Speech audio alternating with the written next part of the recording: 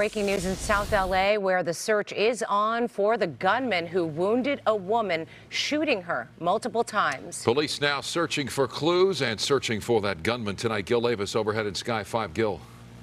Mike and Sherry, you can look at uh, this is Martin Luther King Boulevard, just east of, uh, sorry, just west of Vermont. The shooting happened around 9:30 this evening. You can see LAPD Southwest Division officers investigating the shooting scene. M MLK is completely shut down right now as they investigate this scene, but they found a woman here that was shot. She was transported to a local hospital in unknown condition, and now officers are looking for the vehicle that was involved in the shooting that fled uh, off of.